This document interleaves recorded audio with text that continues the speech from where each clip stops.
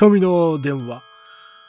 ということでやっていきます。えーこちらはですね、とある日の夏、友達のおばあちゃんから電話がかかってきてということでですね、まあ友達のおばあちゃんが電話がかかってくるっていう状況がちょっとよくわからない上に、まあ、このまずタイトルに出てくるのは、まあ、これおばあちゃんじゃなくてもう完全に若い女性なんですよね。若い女性か、まあ、井戸から出てきたね、まあ、女の人かのどちらかだと思いますけど、じゃあ初めからやっていきましょうか。ニューゲームということで。てか、黒電話懐かしいな。あーと思ったらこっち黒電話じゃない。主人公、ゆきとくんかな？ゆきとくんちっちゃい小学生これ。よし、今日は一人で留守番だし、何して遊ぼうかな？まあ、一人だとね、なんだろうな。俺はもう、あれだな、実況じゃないけど、独り言を喋ってるんで、ただ、無言で、無心で。やべえやつだ、それも。ということで、あ、ちょっと。えっと、あ、違う、こ、あ、これクリックか。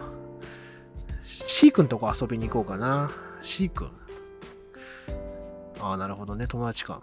そう考えると突然電話が鳴り出した。おお。電話出るの怖くね？てかもう電話これこっちが、これ違うじゃん。これ、こっちが電話かけてるじゃん。こんにちは。なんて？い やちょ、聞こえなかった。俺喋って聞こえなかった。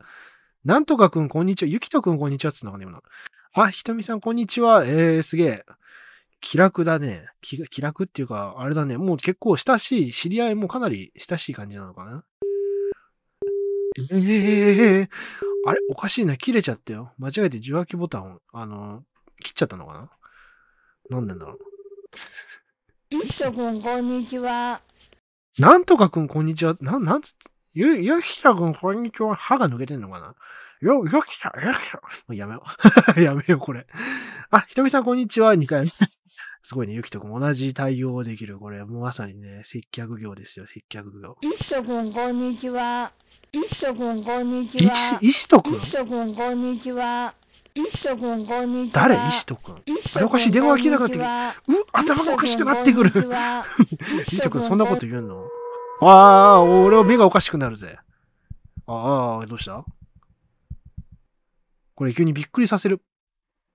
あれなんか腫れ物できてない？あ、違う、これおばあちゃんか。これほっぺだと思ったらこれあれか、後ろ髪か。あの、かんざしと後ろ髪か、これ。う、あ、頭が痛い。あ、そういう感じじゃないか、ゆきとくん。えっと、確かひとみさんの電話を聞いてたら急に、ゆきとが横を見ると、そこには一人のおばあちゃんが立っていた。えー、おばあちゃん？どっから入ってきたの？いっしょくん、こんにちは。電話の音声。うわー電話の音声。電話の音声で横から語りかけてくんの？この黒で、終わった。石戸くんって誰？